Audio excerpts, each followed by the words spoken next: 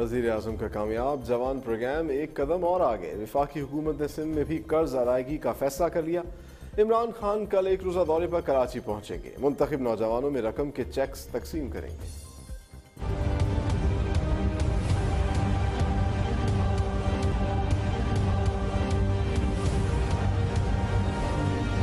کامیاب جوان پروگرام کے تحت سندھ میں قرض کی تقسیم کے آغاز کے سلسلے میں وزیر اعظم عمران خان کل ایک روزہ دورے پر کراچی پہنچیں گے۔ سندھ بھر سے منتخب نوجوانوں میں رکوم کے چیک تقسیم کریں گے۔ نوجوانوں میں چیک تقسیم کرنے کی تقریب گورنر ہاؤس کراچی میں منعقد ہوگی۔ تقریب کی تیاریاں مکمل کر لی گئی ہیں۔ وزیر اعظم تقریب سے خطاب کریں گے، جبکہ وفاقی وزراء اور نوجوانوں کی بڑی تعداد تقریب میں شریک ہوگی۔